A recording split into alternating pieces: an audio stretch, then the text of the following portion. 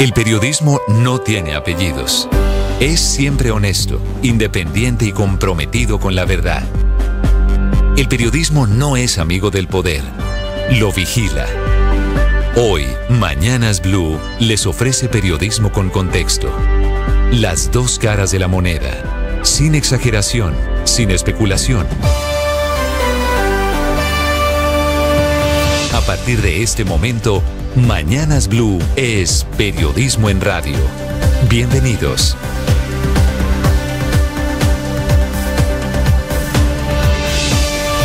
Bienvenidos, muy buenos días, 6 de la madrugada, 40 segundos.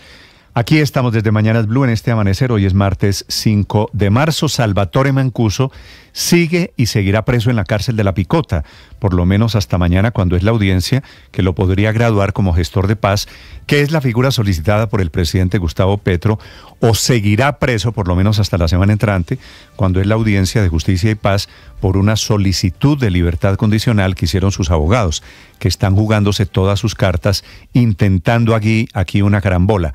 Es decir, la decisión de la magistrada de ayer, la magistrada de Justicia y Paz, la doctora Luz Marina Zamora, no es inminente, no lo pone todavía en las puertas de la cárcel, pero podría ser una batalla de una gran carambola política. Por un lado, el gobierno Petro intentando utilizar a Mancuso para que testifique contra Álvaro Uribe y por el otro lado Mancuso y sus abogados utilizando todos los recursos para lograr la impunidad de más de 75 mil crímenes cometidos u ordenados por este hombre, Salvatore Mancuso, en la época de su reinado paramilitar.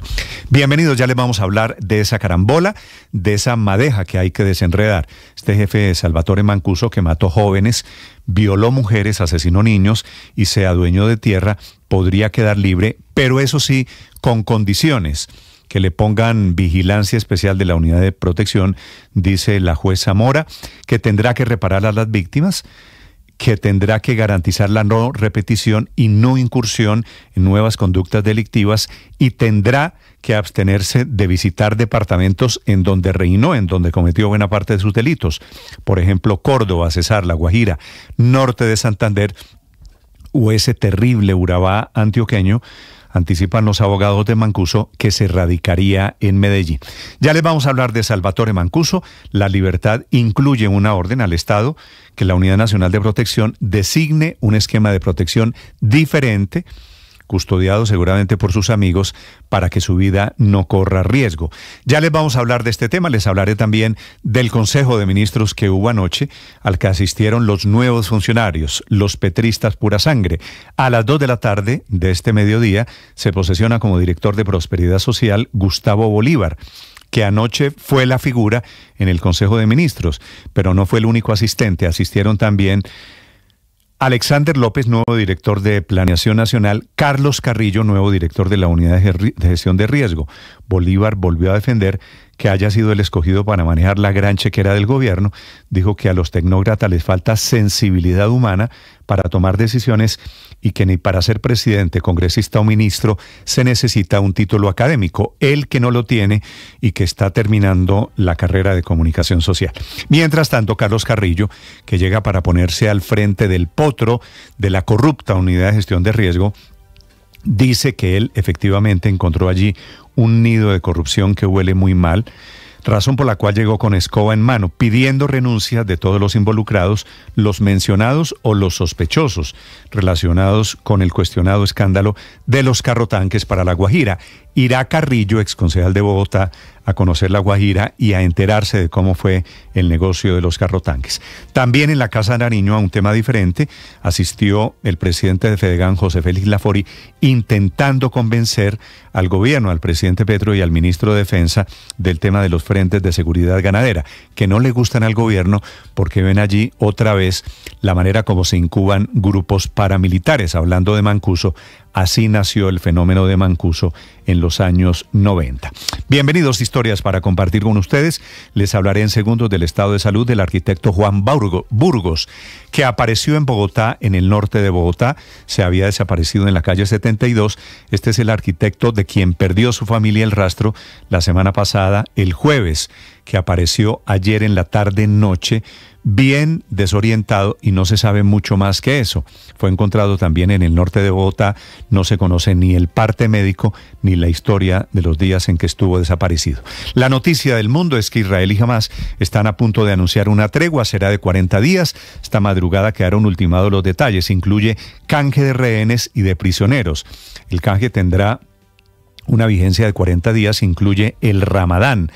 En el Cairo, la capital de Egipto, se están terminando de finiquitar los, detalles. Serán 40 rehenes israelíes los liberados a cambio de 400 presos palestinos que están en las cárceles. El acuerdo del que todavía no hay fecha de inicio incluye una retirada de Israel en los centros de las ciudades de toda la franja de Gaza para permitir que los desplazados en Rafah especialmente regresen a las regiones del norte. Será un acuerdo histórico que podría ser el primer paso para ponerle fin a la guerra, un acuerdo de 40 días de tregua. Y esta mañana se defiende el exalcalde de Medellín, Daniel Quintero, de los 501 hallazgos que hizo la auditoría forense que ordenó el alcalde Fico Gutiérrez en Medellín, que habla de corrupción, de contratos arreglados, pagos no soportados y platas perdidas. Dice Quintero que Fico está desesperado y que todo es un show mediático, pero no habla de los casos. Sin responder las denuncias de fondo, Quintero, que tiene una aspiración presidencial en ciernes, escribió en su cuenta de Twitter pidiéndole al alcalde Quintero que se ponga a trabajar en serio.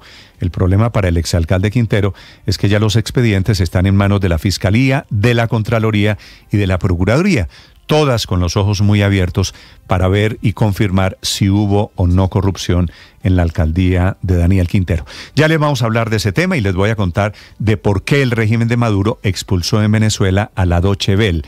Maduro está calificando a ese medio, el gran medio público de Alemania, como un medio nazi por un reportaje sobre la corrupción que hizo, que concluyendo que en Venezuela hay un Estado mafioso, relacionándolo, como todos sabemos, con el cartel de los soles.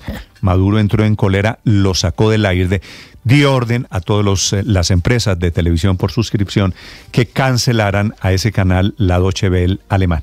Bienvenidos, muy buenos días. Hoy es el día de la eficiencia energética y es el día de la abstinencia, abstinencia digital. Y es Supermartes en Estados Unidos, es el día en el que se miden para efectos de primarias en 16 estados demócratas y republicanos, quiere decir, comienza la campaña electoral en firme y en serio en los Estados Unidos. Lo más importante, enseguida, 6 de la mañana, 7 minutos, en el resumen que preparamos en Voces y Sonidos en Mañanas Blue se concederá al postulado condenado Salvatore Mancuso Gómez la libertad a prueba por un periodo de prueba de cuatro años. Pese a esta decisión de una jueza que concedió la libertad a Salvatore Mancuso, esta aún depende de dos audiencias judiciales que se van a definir en los próximos días. La primera audiencia se cumplirá este miércoles ante un juez de control de garantías de la Sala de Justicia y Paz de Barranquilla, en la que el magistrado Carlos Andrés Pérez estudiará la designación de Salvatore Mancuso como gestor de paz por parte del presidente Gustavo Petro. La segunda diligencia clave para definir si Mancuso queda o no libre se realizará el próximo 15 de marzo en el Tribunal Superior de Bogotá, en la que se tendrá que definir si se le concede la libertad condicional al ex jefe paramilitar tras una tutela fallada por la Corte Constitucional a su favor. Mientras que algunos sectores de gobierno consideran que esta decisión no afecta todos los procesos judiciales que tiene Macuso en su contra. El representante por Pacto Histórico, Alir Uribe. No afecta otras 45 medidas de aseguramiento que él tiene por otros procesos dispersos en los cuales todavía no se han producido condenas. Para la oposición, esta libertad es una estrategia del gobierno. El expresidente Álvaro Uribe. Las razones tienen más intención de amenaza política que de paz, pero la discriminación es inexplicable. En la JEP forzaron el argumento de que Mancuso era el contacto, la bisagra con el ejército para incluirlo en los beneficios de esta jurisdicción. La senadora Paloma Valencia. Es evidente que el único propósito por el que trajeron a Mancuso no es ni las víctimas, ni la verdad, ni la paz, porque eso queda claro que no les interesa viendo cómo avanza el proceso de paz total que ha sido entrega del territorio a los violentos. Lo único que quieren es perseguir al expresidente Álvaro Uribe. La liberación de Mancuso provocó reacciones divididas en las víctimas. Teresita Gaviria, vocera de las madres Madres de la Candelaria. La mejor reparación que puede dar para las mujeres es que les digan la verdad dónde quedaron sus hijos, porque fueron tirados como cualquier animal y fueron enterrados. Pero Mancuso tiene, nos debe a nosotros y él es responsable de, de lo que él prometió, de que iba a venir a Colombia y se iba a comprometer con las víctimas. Eso estamos esperando nosotras. Sebastián Escobar, abogado de víctimas de Mancuso. Salvatore Mancuso es un testigo excepcional que puede narrar todas esas circunstancias de ese relacionamiento y contribuir a la judicialización de los máximos responsables. Gustavo Bolívar llegó a la Casa de Nariño para el Consejo de Ministros. Desde allí se refirió a su designación como director del Departamento de Prosperidad Social y reconoció que el presidente Gustavo Petro está haciendo movimientos clave en su gobierno. El presidente nos ha llamado a los que nosotros llamamos petristas pura sangre, a colaborar en el gobierno. En el caso particular me han entregado una entidad muy grande con muchos recursos y lo único que puedo garantizar por ahora es que de esa entidad nunca se va a perder un solo centavo, ni un peso.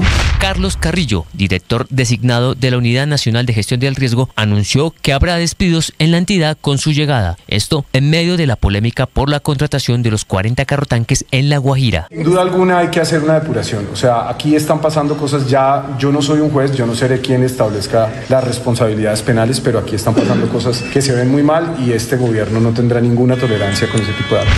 Y mientras Carrillo anuncia despidos, la procuradora Margarita Cabello confirmó que oficialmente están vinculados a la misma investigación por la polémica de los carrotanques Víctor Andrés Mesa, quien fue subdirector de la unidad, pero también declarado insubsistente, y Snyder Augusto Pinilla, jefe de manejo de desastres. Deberán responder por qué contrataron este tipo de ayudas. Seguimos muy, muy adelantados en esta investigación y yo creo que prontamente tendremos decisiones en ese sentido.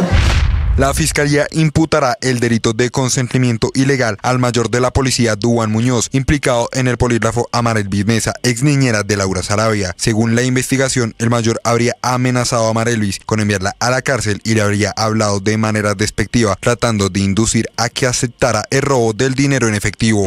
La reforma a la salud propuesta por el presidente Gustavo Petro sigue siendo controvertida por la falta de aval fiscal y financiero por parte del Ministerio de Hacienda. Aunque el proyecto está programado para iniciar su debate durante esta semana, su avance por ahora se ve comprometido por esta situación. Aunque el presidente Gustavo Petro pidió una reunión de fondo sobre los polémicos frentes de seguridad, José Félix Lafurí, presidente de Fedegan, salió tranquilo y satisfecho de esa reunión con el mandatario nacional. El presidente comparte el diagnóstico que le hice y por consiguiente hay que buscar soluciones a ese diagnóstico. La opinión del presidente es la misma. Claro, hay que hacerlo, pero no solo de los ganaderos. En diésel sí estamos por debajo, pero la meta sí es que con un incremento pequeño en el diésel durante el año, entre 2.000 y 3.000 pesos el galón, se pueda llegar a ese precio. Es, el es lo, los números que se están analizando. Los transportadores están preocupados tras el anuncio de Ricardo Roa, presidente de Ecopetrol, sobre el aumento del galón del diésel en el país. El funcionario también indicó que es inminente la importación de gas. Si no lo podemos trasladar al cliente final, que es el mismo generador de carga, pues tenemos que parar nuestros vehículos. Apareció Juan Burgos, el arquitecto que estaba desaparecido desde el pasado 28 de febrero tras estar en el centro financiero de la ciudad de Bogotá. Su familia confirmó que fue hallado con vida a las afueras de la ciudad, aunque con signos de desorientación. Piden ahora respeto y que las autoridades adelanten la investigación respectiva. Llegó el supermartes a los Estados Unidos, el día más importante de las elecciones presidenciales. Es el día en el que más estados y más delegados estarán en juego en las primarias, tanto demócratas como republicanas. En total, 16 estados y un territorio, Samoa Americana, irán a las urnas. Definirán qué candidato se queda con la mayor cantidad de delegados. Por los lados del Partido Republicano se necesitan 1.215 delegados para sellar la nominación. Hoy, Trump tiene acumulados 247. Mientras que por los lados del Partido Demócrata está clarísimo también que Joe Biden será el candidato. Ya tiene 206 delegados y están en juego 1420. Los colombianos detenidos por el asesinato del presidente Jovenel Mois, que rehusaron jugarse, claman por su liberación. Haití sigue bajo el asedio de las bandas criminales. Hay tiroteos en los alrededores del aeropuerto. Porque yo no debo nada, soy inocente. Vine a este país a trabajar, a buscar un mejor futuro para mi familia. Resulté metido en un complot que ni yo mismo en este momento sé por qué caí en, ese, en, en eso. Aunque por el momento no hay confirmación oficial por ninguna de las partes, las fuentes sobre el terreno indican que el grupo Hamas e Israel habrían acordado los puntos básicos para alcanzar una tregua de 40 días, entre los que se incluye el canje de 40 rehenes israelíes por 404 presos palestinos en cárceles israelíes. Dentro de ese acuerdo se habría pactado también la retirada de Israel de los centros de las ciudades de toda la franja de Gaza y la entrada en la franja de 500 camiones de ayuda humanitaria cada día. Creo que hasta acá he visto la camisa nacional por cosas personales, por mí, por la tranquilidad, por todo. Yo creo que ya cumplió un ciclo nacional y quiero eso así. Con estas palabras de Dorlan Pavón, Atlético Nacional anunció que Memín no seguirá jugando más en Nacional. El jugador dijo que la decisión la tomó por motivos personales. En su segundo ciclo como jugador de Nacional, Dorlan jugó 101 partidos donde anotó 28 goles y ganó dos Copa Colombia, una Liga y una Superliga. Estás escuchando Blue Radio. Ahora nuestro contenido no solo se escucha, también se ve. En este país, gobernador, todo es gravísimo y no pasa nada. Algunos en ese límite de la ilegalidad. Bienvenido, gracias por estar conectado. En Blue le ponemos cara a la radio, a la opinión y al debate, a los diferentes puntos de vista, al rigor periodístico, a los hechos deportivos, a la opinión, al humor y al entretenimiento. Le ponemos cara a la radio. Suscríbase a nuestros canales de Facebook y YouTube y desde las 6 a.m. hasta las 7 p.m. disfrute de toda nuestra programación en vivo. Blue, la alternativa. Blue Radio, Visual Radio, un año al aire. Trabajar en radio siempre implica la magia de poder explicar con las palabras los hechos que están ocurriendo en todo el país. Y por eso hoy, con la llegada de la imagen a la radio, tenemos la posibilidad también de que las personas sepan cómo es ver, cómo es estar en ese momento en el lugar de la noticia. Es por eso que la magia también sigue siendo la radio hablada, pero ahora le agregamos este plus que sigue siendo un reto para nosotros, demostrarles a ustedes, nuestros oyentes y televidentes, qué es lo que está pasando. Aquí en Blue le ponemos la cara a radio. Blue Radio, la alternativa.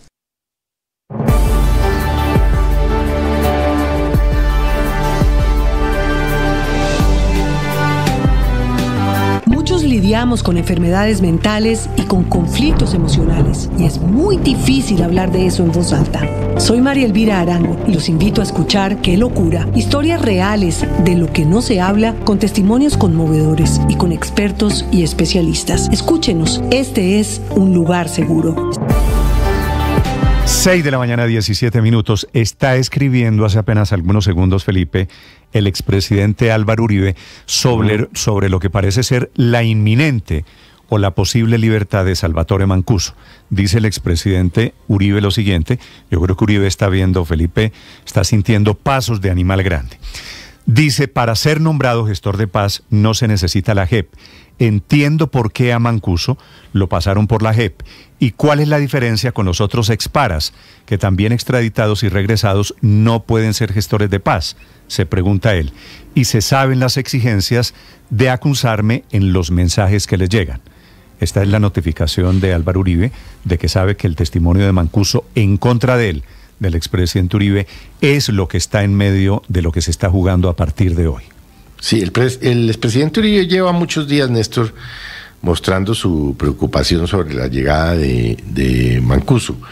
Pero déjeme decirle que yo todavía no entiendo muy bien qué es lo que realmente está pasando con el caso de Mancuso, porque es que Mancuso es genocida, tiene mil y pico de, de, de bueno, bueno, tiene un prontuario eh, tal vez como ningún otro criminal y, va a aparecer pues premiado, protegido por la UNP y de vacaciones. Felipe, ahora agréguele a sus dudas, si son legítimas, el hecho de que en la época del paramilitarismo, en el gobierno de Álvaro Uribe, el gran denunciante fue Gustavo Petro en su época de senador, en la época de los grandes debates sí. del Petro congresista. Sí. Y ahora es el mismo Gustavo Petro el que saca de la cárcel o el que quiere convertir a Salvatore Mancuso en gestor de paz. Aquí hay varias cosas, eh, Néstor y Felipe, buenos días.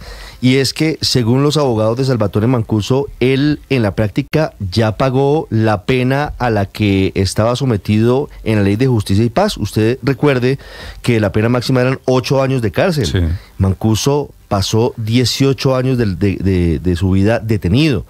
varios de ellos, dos en Colombia y 16 en Estados Unidos. Esa es la petición y el alegato que están haciendo desde la defensa de Sí, Salvatore pero, Mancuso. pero después de la extradición venía, venía a pagar los años de condena que le quedan en Colombia. Es que esa, esa es la duda. Si se computa o no el tiempo que estuvo detenido en Estados Unidos como parte de la pena en Colombia. La, la ley de justicia y paz, la ley 975, abre la puerta para que se dé esa justicia métale transicional. a ese tema que es estrictamente de técnica jurídica, si se suman o no se suman, Ricardo, el tema político, que yo creo que es a lo que se refiere el trino de esta mañana del expresidente Álvaro Uribe. Son las 6 de la mañana, 20 minutos. El caso de Mancuso, por supuesto, es un caso que escandaliza a muchos, que retumba en sus víctimas la posibilidad de que Salvatore Mancuso recupere en algún momento. Regresó a Colombia hace apenas una semana y ya estamos hablando de lo que parece quedar a las puertas de la cárcel La Picota. La decisión la toma una juez, la doctora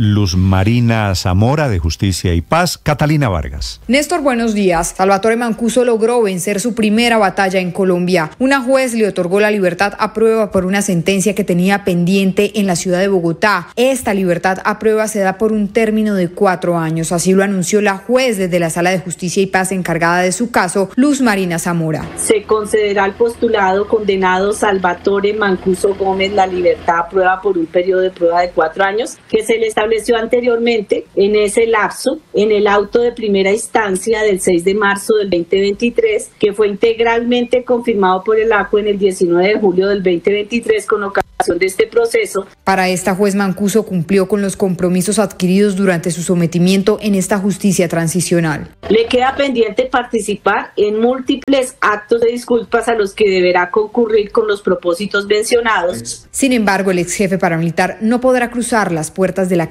La Picota hasta tanto no se verifique si es requerido por otras autoridades judiciales. Para esa verificación hay un plazo de 36 horas precisándole que como la fiscal 49 delegante en tribunal ha manifestado que Salvatore Mancuso Gómez tiene actualmente 33 medidas de aseguramiento consistentes en detención preventiva impuestas por el magistrado con función de control de garantías de Barranquilla. Según la Fiscalía, Mancuso es investigado por 65.067 hechos delictivos que habría cometido como jefe de los bloques paramilitares Catatumbo, Norte y Montes de María. Además, tiene pendientes dos sentencias ante las salas de justicia y paz. Le falta rendir declaración en 800 casos y tiene también 33 medidas de aseguramiento emitidas por la Sala de Justicia y Paz de Barranquilla y 14 procesos en Bogotá. Las víctimas esperan que Mancuso cumpla con las órdenes impartidas por parte de este tribunal. Así lo aseguró el abogado de víctimas Sebastián Escobar. Salvatore Mancuso es un testigo excepcional que puede narrar todas esas circunstancias de ese relacionamiento y contribuir a la judicialización de los máximos responsables. También es importante que Salvatore Mancuso cumpla con las medidas de reparación a las víctimas. Este miércoles se llevará a cabo otra audiencia ante la Sala de Justicia y Paz de Barranquilla, en donde se definirá si se le otorga la libertad, pero esta vez por su postulación por parte del presidente Gustavo Petro como gestor de paz. Catalina Vargas Vergara, Blue Radio. Ricardo Ospina es periodista. Está en Mañanas Blue.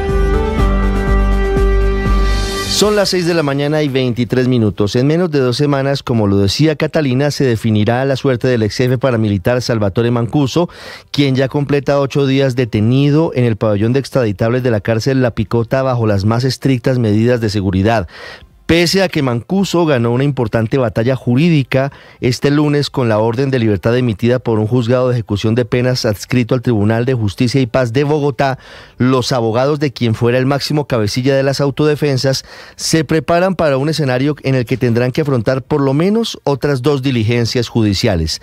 La primera se adelantará este miércoles ante el Tribunal de Justicia y Paz de Barranquilla, en la que los magistrados estudiarán si la designación de Mancuso como gestor de paz por parte del presidente Gustavo Petro le concede beneficios como su eventual excarcelación.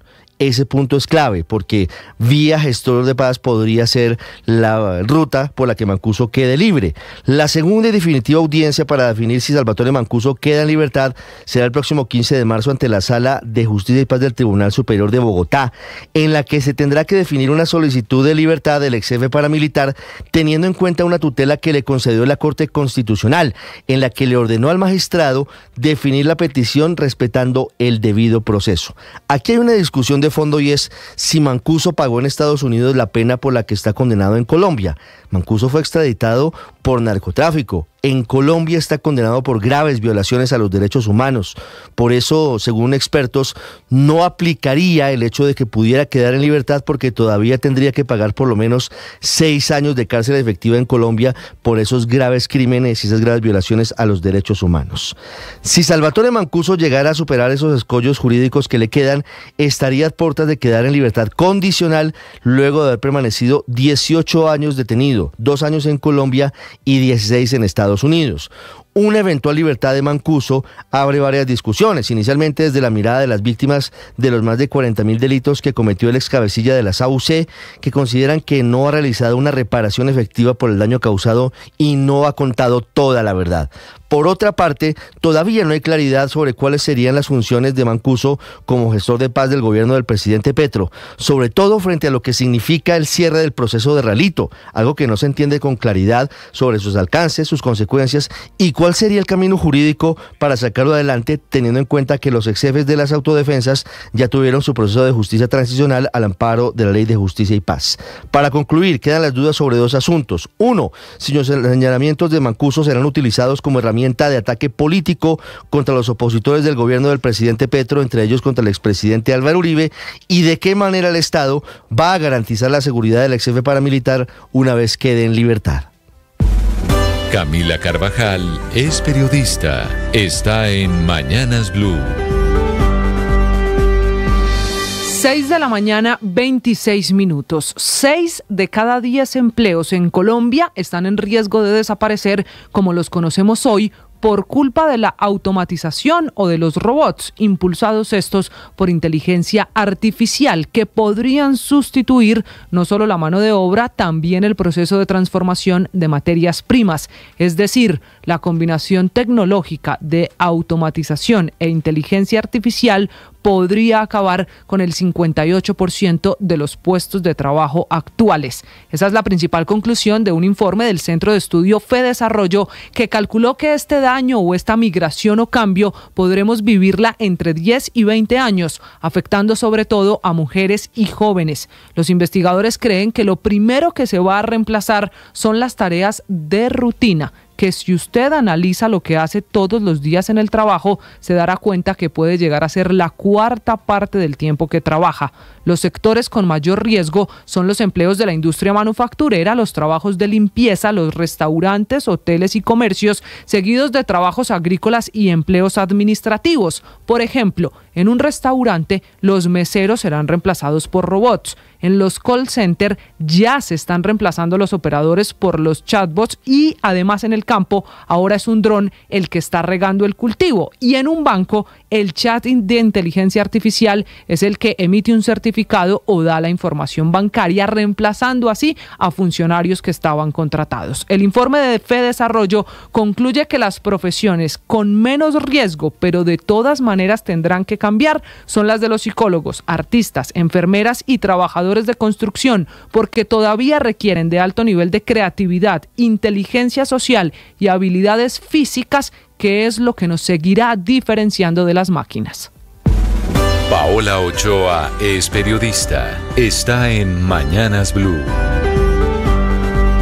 6 de la mañana, 28 minutos, novela de misterio, historia de suspenso, la de las importaciones de gas desde Venezuela. Trama con rol protagónico del gobierno venezolano de Nicolás Maduro y del gobierno colombiano de Gustavo Petro, así como obviamente de las estrellas y amesas de toda esta novela, las petroleras estatales Ecopetrol y PDVSA, con el presidente de la primera, Ricardo Roa, cabeza de Ecopetrol, anunciando en las últimas horas la compra de gas a su melliza PDVSA a partir del 2025, es decir, desde el año entrante, para suplir el déficit del 17% de la demanda actual de gas del país, lo que equivale a unos 170 millones de pies cúbicos de gas que tendrían que importarse a través del gasoducto binacional Antonio Ricaurdio, gasoducto de 225 kilómetros que conectan a Puerto Vallarta en Colombia con el lago de Maracaibo en Venezuela Venezuela, pero que ha sido abandonado y que está fuera de servicio desde hace nueve años y que tuvo en su momento un costo de más de 497 millones de dólares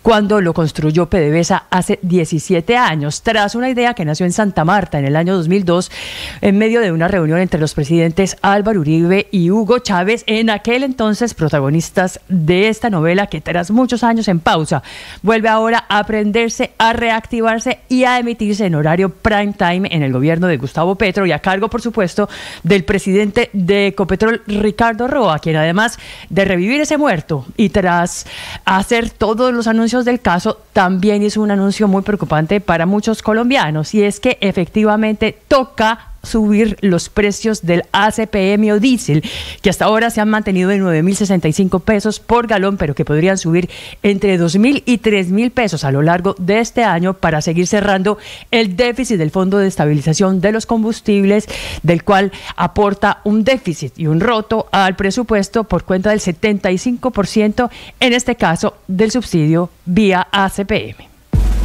María Camila Orozco es periodista. Está en Mañanas Blue.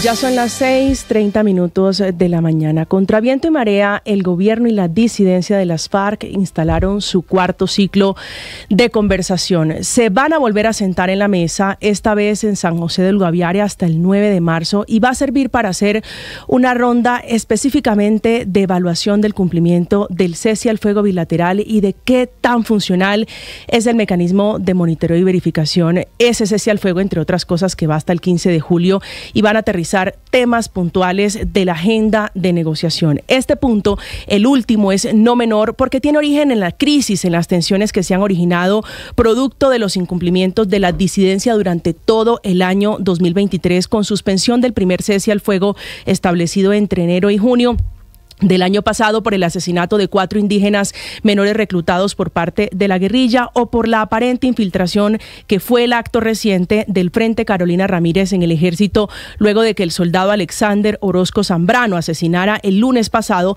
a dos de sus superiores y a un compañero en un batallón ubicado en el departamento del Putumayo o las escenas de la disidencia usando a la comunidad para echar al ejército de zonas y tomar el control pleno del territorio o escenas entregando obras públicas y grabando niños, dándoles las gracias por útiles escolares como en departamentos eh, como el norte de Santander. Estos asuntos son insumos para las negociaciones y un primer acuerdo, ese que ya se firmó, que ya se pactó, de disminuir las acciones violentas a la mitad, que fue la súplica de las últimas horas del gobierno del presidente Gustavo Petro a estos delincuentes, después de que después de este anuncio atacaron la base militar Plaza Neiva en el municipio de San Vicente del Caguán, en el departamento del Caquetá, dejando por ahora un militar herido. Entre las novedades de esta nueva ronda de conversación estará la participación de alias Calarcá, Córdoba Willy y Andrea Bendaño, los nuevos representantes del Estado Mayor de las FARC, que por otro lado están culpando al ejército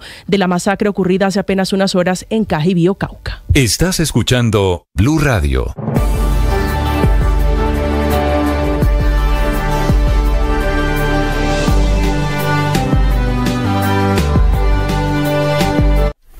Blue Radio, Visual Radio, un año al aire. Pues en estos tiempos la comunicación ha sido ya, ha cambiado multimedia y hay nuevas plataformas y hay nuevos estilos de comunicar no solamente es analógica en la radio, micrófono, como usualmente se hacía, solamente el radio y listo. Ahora ya podemos comunicarnos a través de nuestros teléfonos celulares, a través de nuestros computadores, de nuestras tablets. Y allí es donde Blue Radio ha innovado, donde podemos vernos en total en otras distintas plataformas, ya sea en audio, en video, y además que en video podemos explicar muchísimo mejor las cosas. Claro, la radio es color para el oído, pero también para el oyente, para el usuario, para todas las personas que nos siguen a través de todas nuestras plataformas, pues va a ser muy mucho más fácil que hagamos una interacción y que haya feedback entre nuestros oyentes, usuarios y obviamente todos los que hacemos radio. Porque aquí en Blue Radio le ponemos cara a la radio. Blue Radio, la alternativa. Ahora nuestro contenido no solo se escucha también se ve. En este país, gobernador, todo es gravísimo y no pasa nada. Algunos en ese límite de la ilegalidad. Bienvenido, gracias por estar conectado. En Blue le ponemos cara a la radio. A la opinión y al debate. A los diferentes puntos de vista. Al rigor periodístico. A los hechos deportivos. A la opinión, al humor y al entretenimiento. Le ponemos cara a la radio. Suscríbase a nuestros canales de Facebook y YouTube y desde las 6 a.m. hasta las 7 p.m. disfrute de toda nuestra programación en vivo. Blue. En Medellín se está agravando esta mañana el problema por la calidad del aire. 17 de 19 estaciones que miden allí tienen alerta naranja. Quiere decir, cada vez más problemas para respirar, obviamente más restricciones a la vida cotidiana. En Medellín, Héctor, situación. Pues Néstor, las estaciones de medición de calidad del aire en el Valle de Urrá están registrando niveles históricos en los últimos meses, pues a excepción de dos de estas ubicadas en el corregimiento de San Cristóbal y en el barrio El Poblado de Medellín, todas registran niveles naranjas. El aire, según esos reportes, está representando riesgo para poblaciones como personas con enfermedades respiratorias, niños, adultos mayores y mujeres embarazadas. Es decir, este aire es nocivo. Según ha explicado la directora del área metropolitana, Paula Palacio, las condiciones meteorológicas actuales, sumado al aporte de contaminantes desde otras regiones por fuera de esta subregión, producto de la quema de material de cobertura vegetal, así como las emisiones contaminantes de los vehículos y el aumento de la concentración que no sale porque no ingresan los rayos solares al Valle Aburrá es lo que está generando este material particulado contaminante. La recomendación es que no se expongan por tiempos muy prolongados a eh, estar al aire libre. Es una medida más de autocuidado, que las personas seamos conscientes de que, eh, digamos, la calidad del aire no es la mejor y de que estas medidas lo que hacen es cuidarnos. Néstor, este martes es el segundo día que operan las disposiciones adoptadas en el marco de esta declaratoria de alerta por parte de las autoridades relacionadas principalmente con la restricción para vehículos de carga y volquetas que sean la mañana en hora y media y en horas de la tarde en dos horas y media. La recomendación que se hace nuevamente es a empresas y a instituciones educativas hacer en lo posible teletrabajo y actividades virtuales, Néstor. A los niños no les dan clase de educación física en estas condiciones, ¿no, Héctor? Pues se espera que si se mantienen estas condiciones, Néstor, se haga restricciones, al igual que hoy, por ejemplo, hay ciclovía, entonces se espera pues también que determinaciones se puedan tomar más adelante. Hay que esperar cómo transcurren horas de la mañana, sin embargo, llovió fuertemente hasta esta madrugada y todavía no sale el sol. Muy bien, aquí tampoco sale el sol para su información. Tenemos una mañana, padre, mire eso. Toldadita, una mañana muy gris en Bogotá. Muy gris. Toldadita, ¿no? Así, sí. Plomiza, también diría otro amigo. 6 de la mañana, 36 minutos, Padre Linero, buenos días. Buen día, Néstor, como siempre, con ánimo, con fuerza, con ganas, buscando provocar las mejores emociones con las mejores palabras para iniciar este día. Martes, con fuerza, con ganas. Ánimo. El ánimo, ánimo, claro el tema de hoy, padre. Oiga, eh, es casi que personal. Hoy es el día de la abstinencia digital, no de esos días raros que, que nos inventamos. Entonces hoy voy a estar haciendo la tarea Mm, viendo y he estado estudiando a ver qué, beneficios tiene mm, la abstinencia digital. Además de que yo aprendí en la experiencia mística, en la experiencia espiritual, en la cesis, eh, que vale la pena la abstinencia de todo tipo, sobre todo de aquello que tiene el poder de robarse la voluntad de uno, de aquello que quiere mandarlo a uno. Entonces vamos a hacer eso. Abstinencia. Abstinencia a todo nivel, pero sobre todo digital. ¿Usted por qué se ríe? ¿Cómo que a todo nivel? No, ¿Es digital o, hay más tantos detalles? a todo nivel. A todo nivel. A todo nivel. Bueno, el, el eh, ¿Abstinente? es que no le creo. No le creo mucho. No le creo mucho a su abstinencia. Daniel, buenos días. Hola Néstor, buenos días. Saludos para Daniel Angulo presenta esta mañana la información deportiva. El gran tema de hoy es Dorlan Pavón y su finalización de contrato con Atlético Nacional. Y en ese video que compartió el club Néstor, me imagino que si vio los casi seis minutos, hay una parte que a usted le debe gustar. ¿Qué es cuál? En la que dice que el momento más triste de su carrera es perder la final con Millonarios. Sí, es que es que suena dulce, ¿no? Cuando cuando a usted el rival le dice, le reconoce el triunfo ajeno. Sí, porque está reconociendo además la grandeza del rival. O sea, la influencia sobre la tristeza tiene que ver con la grandeza Pero- del pero rival. me- me Dorlan, parece- uno de los últimos grandes ídolos del Atlético le- le iba a Nacional. decir eso, me parece que es un gran jugador de fútbol, Dorlan Pavón. A, a Millonarios le amargó muchas veces la vida, también hay que decirlo. Sí, a ver, es ¿no? que Dorlan con Atlético Nacional en esos casi 202 partidos que ha jugado convirtió más de 70 goles. Cuatro títulos le deja a Atlético Nacional. El futuro de Dorlan habrá que esperar para que se resuelva para el próximo semestre o si lo anuncia antes, pero recordemos que por normativa en este momento en la A no puede jugar. Néstor. Le queda todavía anunciar cuándo se despide del fútbol. Dorlan Pavón, que tiene 36 años de edad. Sí, todavía le queda. Obviamente también tiempo para recuperarse bien de tema de lesiones y demás, porque en el aspecto físico tuvo bastantes inconvenientes en el último tiempo, Néstor. Ya vienen los deportes, 6 de la mañana, 39 minutos. Hay una noticia urgente. Está a punto de anunciarse, no es oficial, pero lo será en cualquier momento, la tregua entre Israel y Hamas, que la están pactando, se están conociendo en el Cairo, la capital de Egipto, en donde se está negociando detalles. Va a ser una tregua larga, afortunadamente, de 40 días con canje, secuestrados por prisioneros palestinos. A esta hora desde Europa, Silvia Carrasco. Sí, Néstor, la verdad es que parece ser que la premisa que domina aquí es que nada está acordado hasta que todo esté acordado. Y ciertamente se conocen los puntos que a los que llegaron a acuerdo, pero todavía hay un punto discordante que hace que Israel no firme el pacto. Y eso es lo que estamos esperando.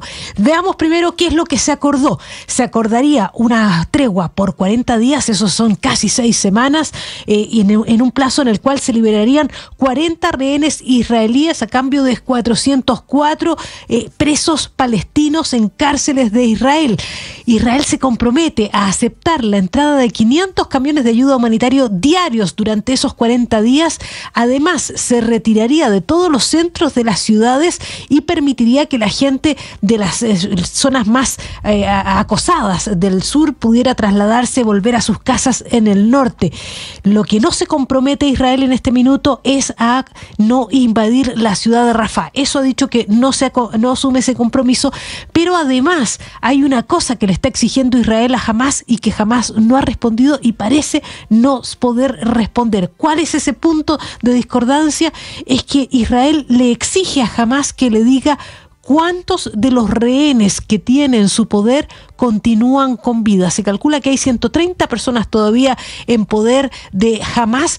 El, ejército israelí dice que 30 de ellos han muerto, pero lo que dice eh, eh, Hamas es que 70 han muerto. Entonces lo que le exige Benjamín Netanyahu es que publique los nombres de los que siguen con vida. ¿Y por qué Hamas no puede responder a esto? Porque aparentemente los secuestrados no están todos en su poder. Hay varias facciones como la yihad islámica ahí dentro de Gaza que tiene parte de los rehenes y no se puede comprometer a entregar los rehenes o a dar los nombres de los rehenes que tienen otras facciones. Por lo tanto, esos son los puntos de encuentro. Ah, pero hay un dato más que dice este acuerdo, que si se llega a, a- superar estos puntos discordantes, la tregua comenzaría el próximo 8 de marzo, o sea, dos días antes de Ramadán. Y todo esto ocurre en un contexto en el cual es más acuciante la necesidad de ayuda humanitaria. Los niños muriendo, todavía los combates intensos se escuchan en las calles, en el sur de Gaza, especialmente en Can Yunis, eh, bombardearon una casa con ocho personas dentro de una misma familia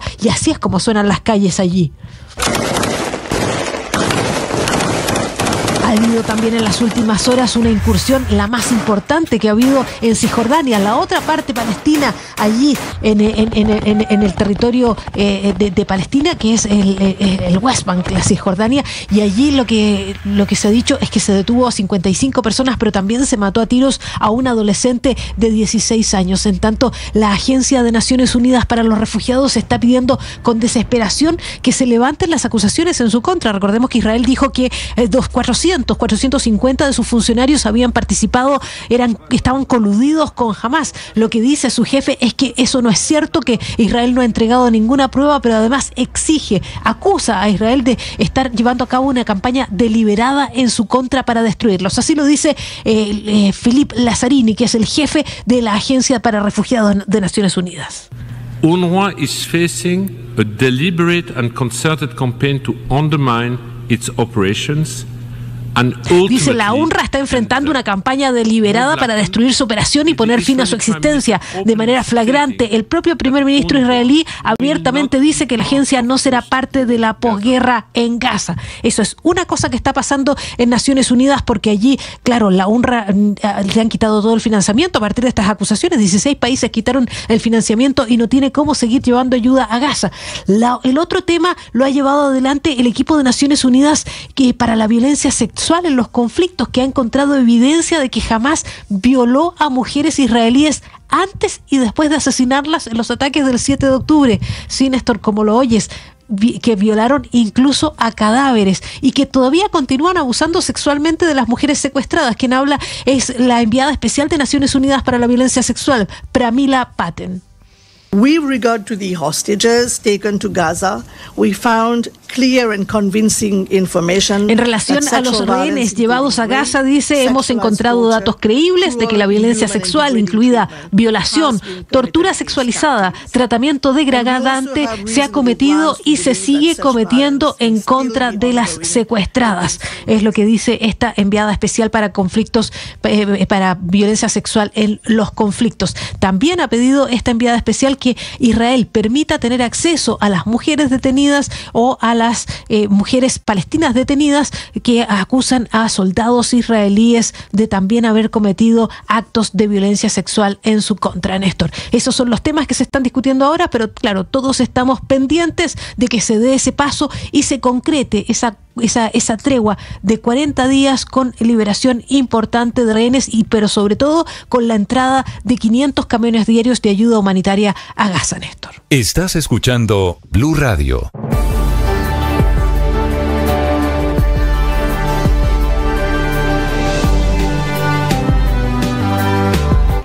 Lidiamos con enfermedades mentales y con conflictos emocionales y es muy difícil hablar de eso en voz alta.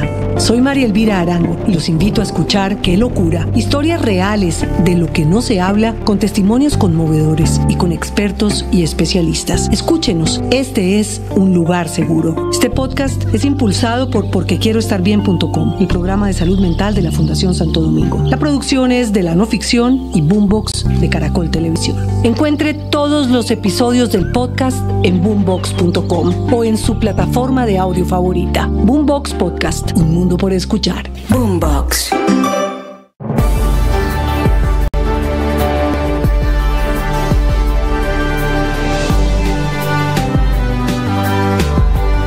Ahora nuestro contenido no solo se escucha, también se ve. En este país, gobernador, todo es gravísimo y no pasa nada. Algunos en ese límite de la ilegalidad. Bienvenido, gracias por estar conectado. En Blue le ponemos cara a la radio. A la opinión y al debate. A los diferentes puntos de vista. Al rigor periodístico. A los hechos deportivos. A la opinión, al humor y al entretenimiento.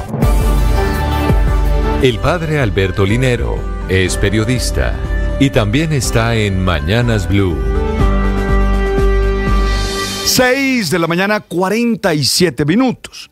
Las pantallas tienen el poder de atraparnos. Son capaces de hacernos olvidar todo lo que hay a nuestro alrededor. En su afán de conectarnos con las personas que están lejos, nos desconectan de aquellos que están cerca. Personalmente, paso mucho tiempo frente a las pantallas, por diversión, por trabajo o simple por necesidad de comunicación. Muchas veces me he sorprendido inmerso en un ejercicio de desplazar el dedo hacia arriba, así, sobre la pantalla de mi teléfono, viendo videos, la verdad, sin ningún interés distinto a estar ahí, haciéndolo.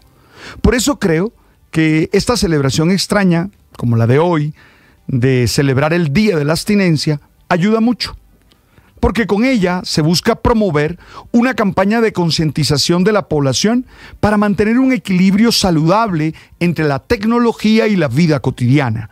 En definitiva, para no sucumbir ante la ansiedad digital y volver a tener experiencias de encuentro con personas que amamos, salir a caminar y conectar con la naturaleza, leer un libro, es decir, hacer actividades que eran comunes y fundamentales antes de que la tecnología nos invadiera con su confort y su rapidez, robándonos la posibilidad de disfrutar al otro en su presencia física y en la lentitud de algunos procesos. Tener un día de abstinencia de eso que amenaza con poseer nuestra voluntad y hacernos sus esclavos trae beneficios concretos y es siempre una posibilidad de ser más conscientes y entender que debemos ser gerentes de nuestra propia vida. Entre los beneficios de practicar periódicamente la abstinencia digital tenemos, uno, desconectarnos y desconectar a nuestro cerebro de la dependencia, de la hiperconexión. Dos, podemos conciliar el sueño sin mayor dificultad. Tres, descansar mejor. Cuatro, mejorar la calidad de la atención. Y cinco, incrementar la comunicación y el mejoramiento de las relaciones interpersonales. Particularmente hoy trataré de estar lejos de las pantallas. Evitaré las redes sociales que tanto me gustan. Preferiré tomarme un café con alguien que escribirle un WhatsApp. Y buscaré la manera de estar más conectado con mi entorno sin el paréntesis que la tecnología me ocasiona. Así como intentaré abstinencia en muchos otros aspectos de la vida.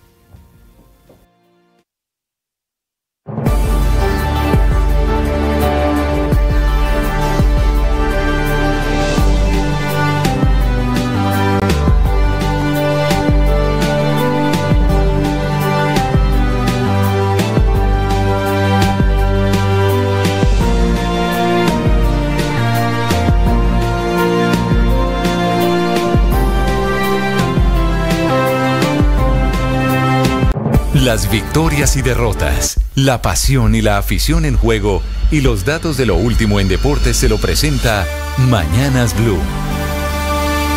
6 de la mañana, 50 minutos. Bienvenidos a los deportes en Mañanas Blue. Atlético Nacional sigue dando de qué hablar y no por noticias positivas. Siguen llegando las malas noticias en el cuadro antioqueño. Esta vez por cuenta de uno de sus ídolos, Dorlan Pavón, quien decidió de manera inesperada poner fin a su contrato con Atlético Nacional y cerrar este nuevo ciclo exitoso que tuvo con el conjunto verde de Antioquia. 36 años tiene Dorlan Pavón, jugador que en su prime llegó a costar hasta 8 millones de dólares cuando fue al Valencia en el fútbol español. Y se despide de Atlético Nacional luego de dos ciclos en los que convirtió 71 goles y además eh, otorgó 36 asistencias. Dorlan deja además en las vitrinas de Atlético Nacional dos ligas, dos Copas Colombia y una Superliga y la verdad el recuerdo de verdaderos golazos. Eso sí, el timing de su decisión es cuestionable en el peor momento de Atlético Nacional y con la llegada de un nuevo entrenador,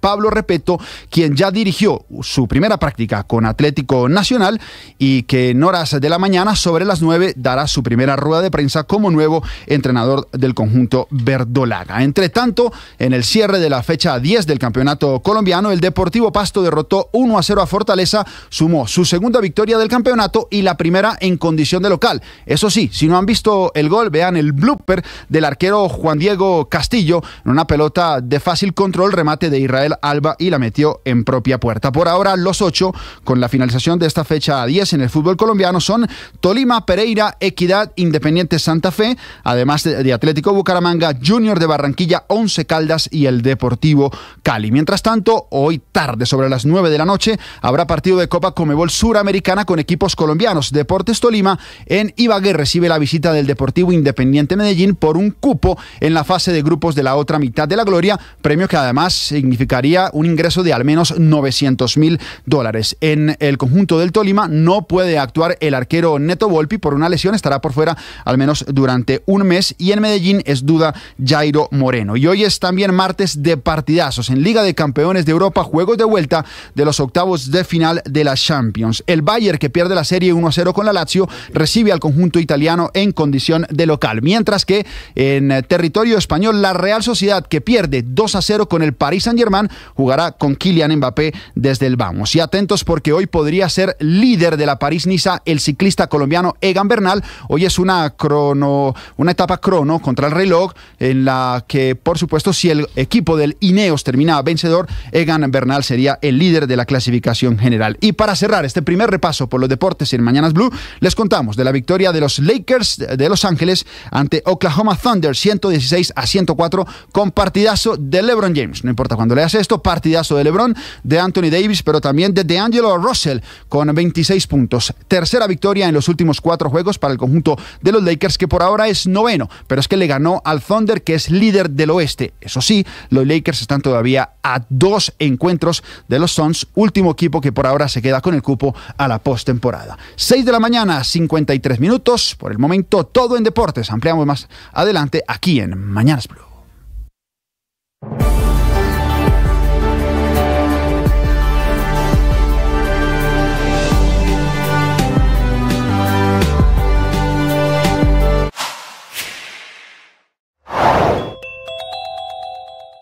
Salvatore Mancuso sigue y seguirá preso en la cárcel de la Picota, por lo menos hasta mañana cuando es la audiencia que lo podría graduar como gestor de paz, que es la figura solicitada por el presidente Gustavo Petro, o seguirá preso por lo menos hasta la semana entrante, cuando es la audiencia de justicia y paz por una solicitud de libertad condicional que hicieron sus abogados, que están jugándose todas sus cartas, intentando aquí una carambola. Podría quedar libre, pero eso sí, con condiciones que le pongan vigilancia especial de la unidad de protección, dice la jueza Mora, que tendrá que reparar a las víctimas, que tendrá que garantizar la no repetición y no incursión en nuevas conductas delictivas y tendrá que abstenerse de visitar departamentos en donde reinó, en donde cometió buena parte de sus delitos. Por ejemplo, Córdoba, Cesar, La Guajira, norte de Santander o ese terrible Urabá antioqueño anticipan los abogados de Mancuso que se radicaría en Medellín. El oracional El Man está vivo es un espacio de entrenamiento de las habilidades espirituales. Nosotros necesitamos aprender a hacer silencio, a agradecer, a meditar, a interiorizar. Pues bien, el oracional nos ayuda en eso. Cuando tú y yo tomamos el hábito de hacer nuestro oracional, vamos a ir desarrollando nuestras habilidades espirituales. Eso nos dará profundidad en la vida. Eso hará que el sentido y el significado de la existencia estén fortalecidos. Eso hará que tú y yo tengamos fuerza para conquistar nuestras metas y salir adelante. Ánimo, tú sabes.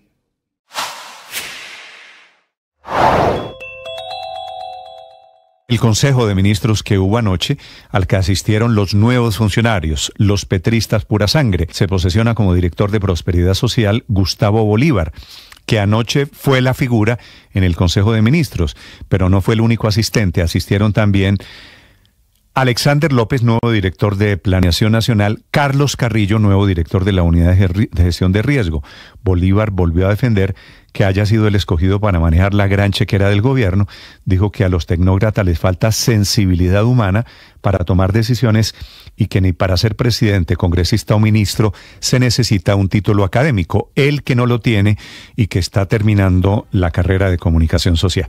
Mientras tanto, Carlos Carrillo, que llega para ponerse al frente del potro de la corrupta unidad de gestión de riesgo, dice que él efectivamente encontró allí un nido de corrupción que huele muy mal, razón por la cual llegó con escoba en mano, pidiendo renuncia de todos los involucrados, los mencionados o los sospechosos, relacionados con el cuestionado escándalo de los carrotanques para la Guajira.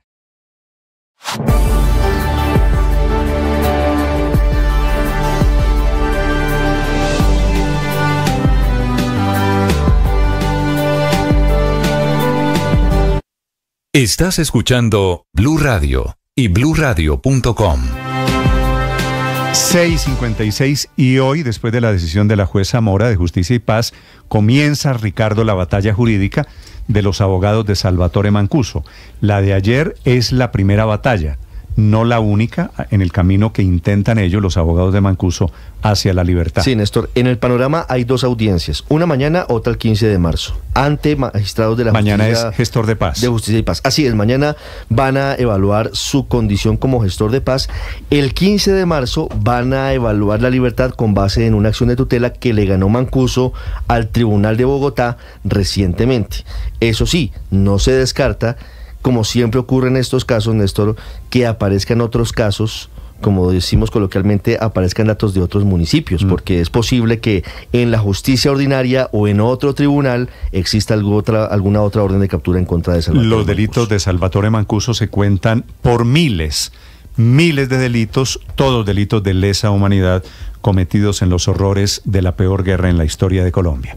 657, el doctor Jaime Paérez, penalista, es el abogado de Mancuso, de Salvatore Mancuso. Doctor Paérez, buenos días.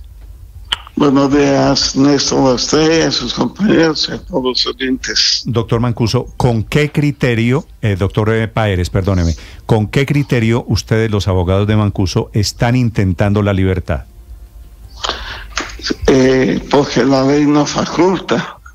La ley dice que cuando Salvatore Mancuso cumple, cumple una pena de prisión, cumple con sus compromisos con las víctimas, tiene derecho a la libertad. Esa es. Pero él estuvo. ese es el fundamento. Él estuvo preso en Colombia solamente dos años, doctor Paérez, ¿no?